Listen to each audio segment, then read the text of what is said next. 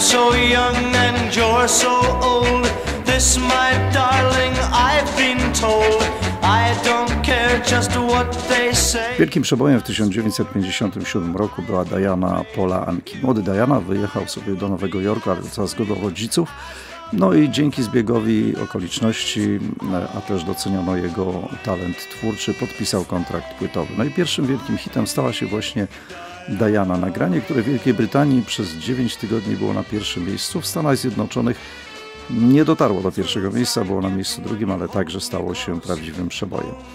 Otóż y, mówi się o trzech różnych inspiracjach co do napisania piosenki y, Diana, Pola Anki. Y, ten Kanadyjczyk twierdzi, że piosenkę napisał dla opiekunki starszej od niego 3 lata, natomiast są jeszcze dwie inne wersje powstania tej piosenki, że napisał dla koleżanki z liceum, a też Inna wersja mówi o tym, że napisał dla dziewczyny, którą widywał w kościele.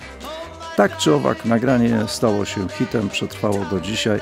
No a Polanka od tamtego momentu zaczął rzeczywiście odnosić wielkie sukcesy.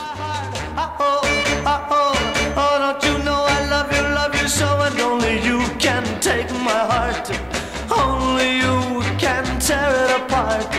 When you hold me in your loving arms, I can feel.